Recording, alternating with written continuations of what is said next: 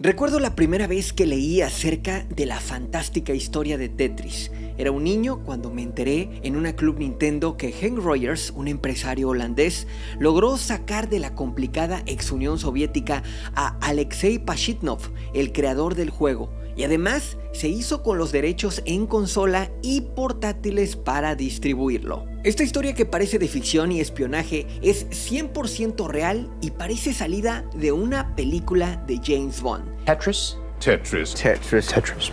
Tetris.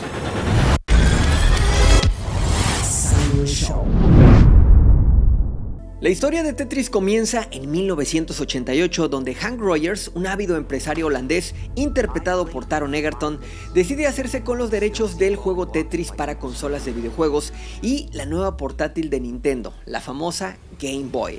Sin embargo, el camino no sería fácil, ya que había sido engañado por una empresa de alto renombre llamada Mirrorsoft, la cual se supone que tenía los derechos de Tetris en su totalidad cosa que no era cierto en absoluto. Así que Hank Rogers decidió arriesgarse e ir a la mismísima madre Rusia para hacerse con ellos.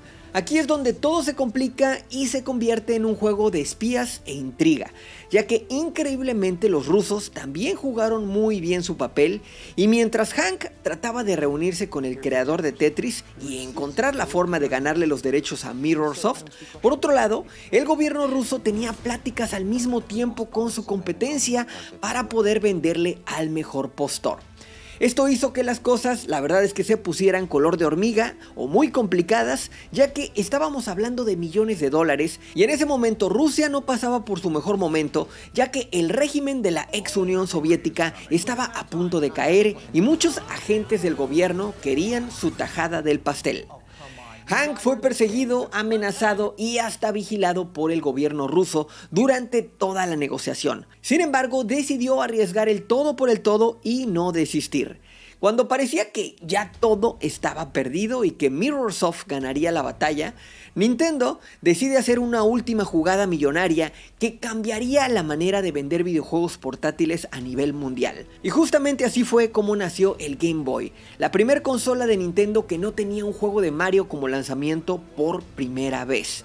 Y de ahí en adelante ya todo lo demás es historia. Por supuesto que la producción norteamericana pone de su cosecha para contar esta historia, pues todavía más exagerada de lo que realmente fue, al meter algunas persecuciones tipo Hollywood y villanizar de más a la ex Unión Soviética como suele hacerlo comúnmente. Aún así, la esencia de lo que le pasó a Henry Rogers, el empresario holandés que se jugó su patrimonio, incluida su casa, por encontrar al creador de Tetris, Alexei Pashitnov, y conseguir los derechos de un juego millonario, es simplemente excelente para todo aquel que quiere emprender o tenga el sueño de formar su empresa.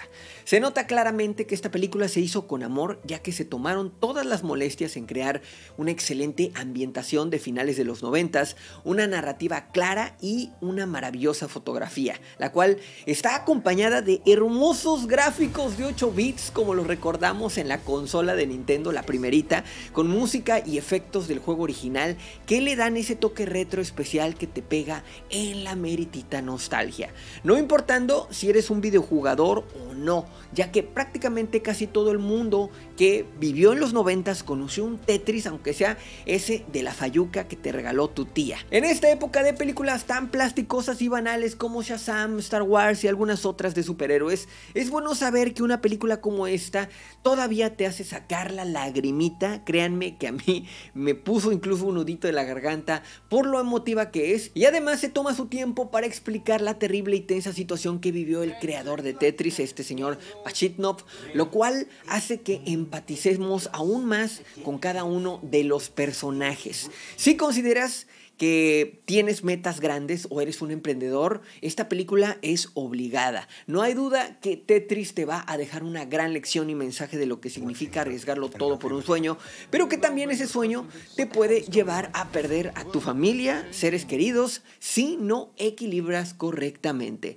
Para mí la película, la verdad es que se lleva un 9, posiblemente algunos efectos especiales ahí pudieron haber mejorado, eh, pero está genial. Y bueno, también posiblemente por la anécdota que les conté al inicio del video y porque soy un gran, gran fan de los videojuegos. Definitivamente la volvería a ver de lo trepidante que es. Les recomiendo muchísimo que investiguen también un poco de la historia real de Tetris en internet para que puedan disfrutar aún más esta película. Si te gustó este video, recuerda, dale me gusta, suscríbete al canal, ahí donde está la campanita y compártelo con tus amigos. Yo soy Nesman, no olvides también, puedes dejar una aportación monetaria con el super chat, ahí está el corazoncito con el signo de pesos. Muchas gracias a todos y nos vemos en el próximo review. Come on, you guys are the kings of cliffhangers!